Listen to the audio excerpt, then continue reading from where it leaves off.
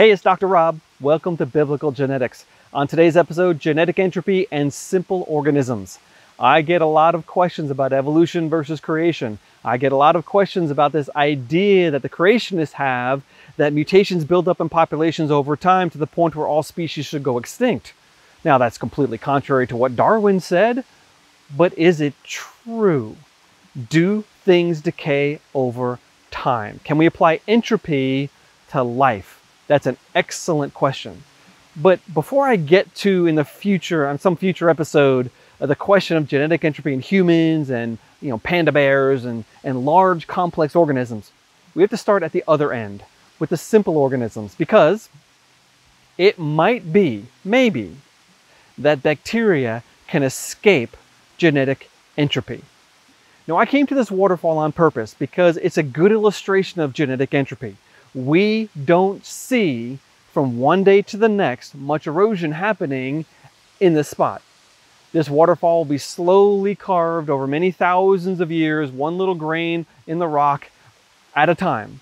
And slowly, slowly, slowly, a notch will form here. Maybe the pool will get larger.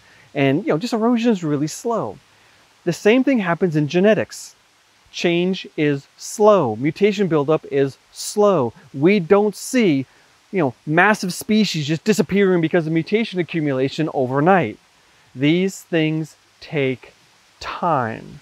And therefore, this whole question really is a question about philosophy and science.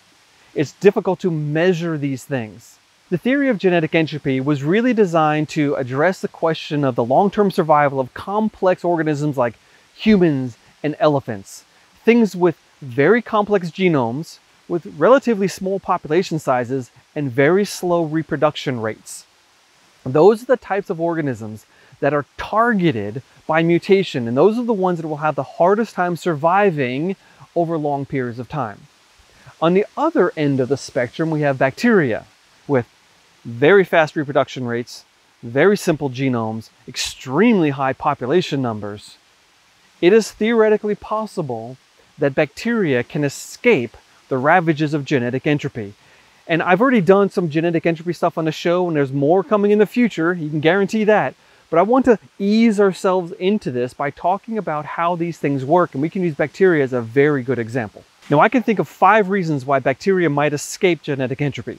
First, they have a very low mutation rate. The DNA polymerases that copy the bacterial DNA, they make about a mistake every 10 million letters or so but like the E. coli genome is only four or five million letters long. So there's less than one mutation per generation per bacterium. That's not true in humans where we have 60 to 100 or more mutations per generation, but bacteria, it's less than one. It's conceivable that there are bacteria in the world today that have the same exact genomes that God initially created. Now, I got to put a giant caveat on that because there's not really anything called the E. coli genome. We're now talking about things like the pan genome because you could have two bacteria right next to each other. One might have a gene the other doesn't have. One might have a, a metabolic pathway the other doesn't have. And if you look at all the E. coli in the entire world, well, not every E. coli has the same genome, therefore we talk about a pan genome.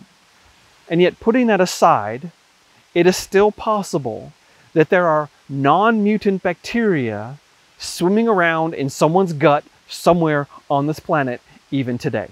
The second thing that can help bacteria survive the ravages of genetic entropy is their population size. Now, I don't know how many E. coli are in the world today, and I actually Googled this trying to figure it out, and I couldn't come up with a good answer. I'm going to pick a number. I'm going to say one quadrillion. Now, I don't know if that's true. It's just a big number. But if you think about it, Bacteria reproduce very quickly. In fact, they can reproduce, let's say, every 30 minutes. That means that every 30 minutes, about a quadrillion E. coli die. To better explain that, let's use people as an example. Imagine that people reproduced by binary fission. We just divided right down the middle, and a new person popped up, two identical people from one. And let's say this happens every 30 minutes. Well, there are 7.5 billion people in the world today in order to keep the population at 7.5 billion, if it doubles every 30 minutes, you're going to have to kill off 7.5 billion people every 30 minutes. That kind of reproduction rate is excellent for natural selection. Now, people don't do that, but bacteria do. And if bacteria reproduce that quickly, that means that if there's a slight difference from one bacterium to another, it actually might make a difference in their reproduction over the long term. That's kind of what Darwin considered. Let me read you a quote from his 1868 book, Variations of Plants and Animals Under Domestication. He said, The severe and often recurrent struggle for life will determine that those variations, however slight, which are favorable, shall be preserved or selected, and those which are unfavorable shall be destroyed. Darwin's main idea is that organisms can produce many more offspring than can possibly survive. Since that's true, and it is, he thought the natural selection then could step in, and if one offspring has a slight advantage over another, that one over the long course of time will have more offspring in general. He also factored in that the environment is very complicated. He said if living things vary even in a slight degree, if in the long course of ages inheritable variations ever arise in any way advantageous to any being under its excessively complex and changing relations of life, then the severe and often recurrent struggle for life will determine that those variations, however slight or favorable, shall be preserved or selected. Okay, you got the idea?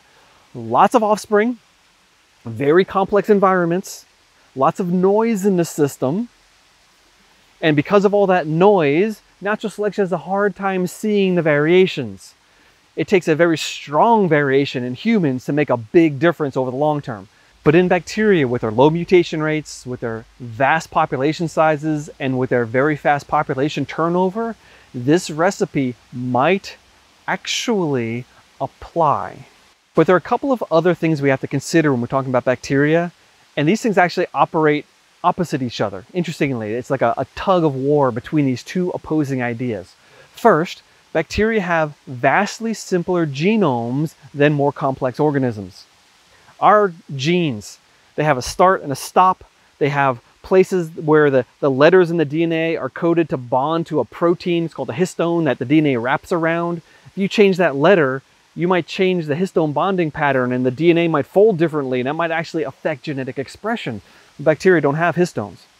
We also have things in the middle of our genes called introns. In order to make a protein, you have to cut the introns out and throw them away, but at the place where the intron joins the regular part of the gene, there's these little signals that say, hey, cut me out right here.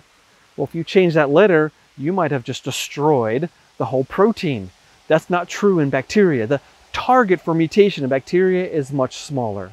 On the other hand, because bacteria don't have much of what we call non-coding, the old-fashioned term for that was junk DNA, but they don't have a lot of non-coding DNA. Most of their genomes are actually are functional. This produces a protein, this produces a protein, this produces a protein.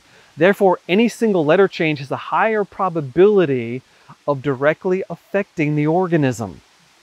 So, because they can be more affected by mutation, natural selection can see that mutation more clearly and it can filter it out. It's as if bacteria are bicycles and humans are sports cars. You can make some changes to a bicycle that doesn't affect the bicycle, fine. But there are a lot of changes to that bicycle because it has fewer working parts that would be catastrophic. You can't lose the chain, you can't lose the handlebars, you can't lose the tires. But in an automobile, because there's so many different working parts and a lot of those parts have nothing to do with getting that car down the road. You could have one flat tire. You can still drive, usually, maybe not safely, but you can still make the car go. You can break the windshield. You can lose the hubcap. There's all these things that can happen in the car that don't totally destroy the car. You see, genetic entropy is more like rust. Imagine that you are a 100 year old car and your owner has taken very good care of you. Every five years, he changes your tires. Every six months, he changes your oil.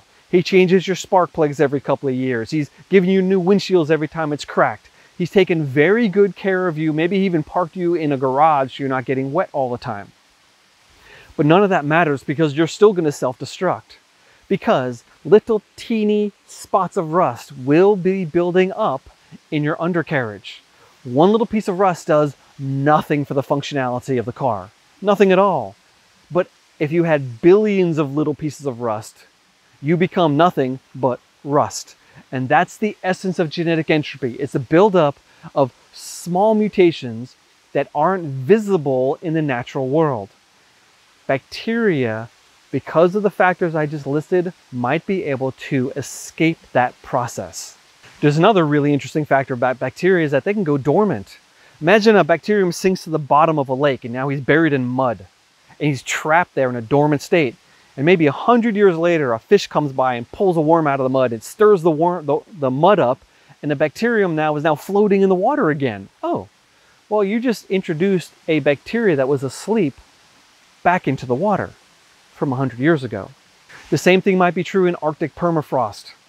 As permafrost melts, it releases bacteria into the wild that have been frozen for a very long time. There are ways to get bacteria from the past back into the present, so there's constantly a source of possibly non-mutated bacteria in the world. You know, one of the big miracles of life is that life exists at all.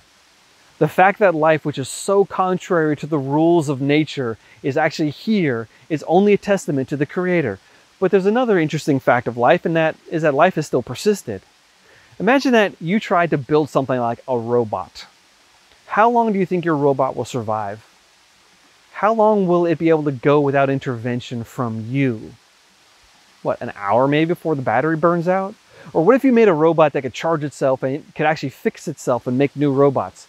How long do you think those robots would go before some catastrophic thing happens and they can't, they can't exist anymore? I suspect not very long.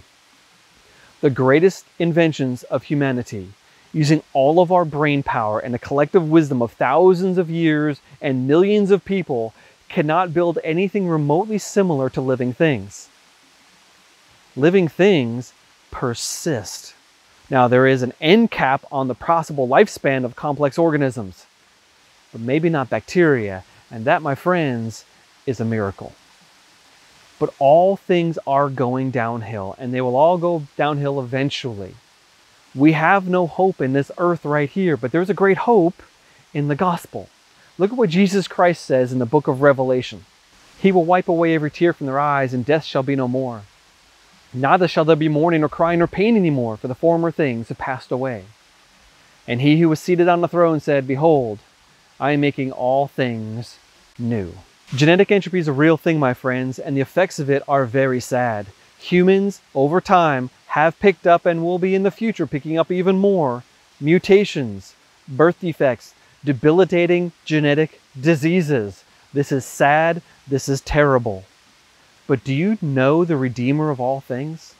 Do you know Jesus Christ who has promised to return to this earth and restore all things and set everything all right? He's going to remove all crying. He's going to remove genetic diseases.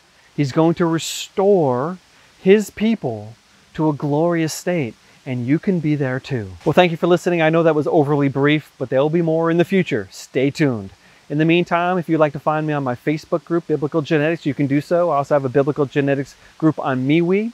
I'm also on Twitter. I'm also on Parler. You can find me. You can look up Robert Carter or Biblical Genetics. Sometimes it's one, sometimes it's the other but I'm there. You can also look up my articles on genetic entropy and other articles by other people on genetic entropy on creation.com. And you know, if there's one thing good that came out of the year 2020, for me, it was my show, Biblical Genetics.